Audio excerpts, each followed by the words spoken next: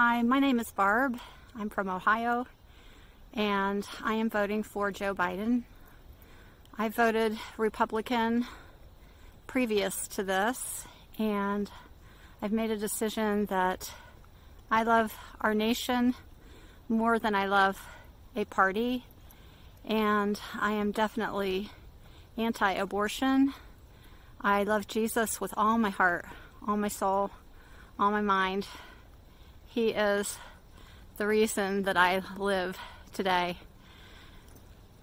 But I cannot support someone who wants to destroy the fabric of our nation. As I woke up this morning, God gave me a picture of some numbers, and I think they're important numbers for all of us. The numbers are 1776. That is when our nation was born because we no longer wanted to be under the leadership of a king slash dictator. We wanted to be a nation of the people,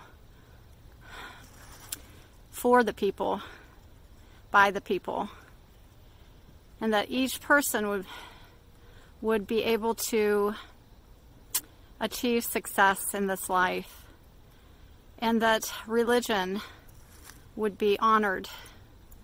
Um, people's faith in God will be honored. But I will vote for Joe Biden because I know he's a good man, a decent man.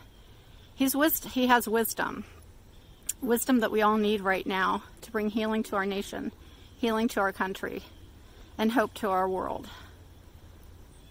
Thanks for listening.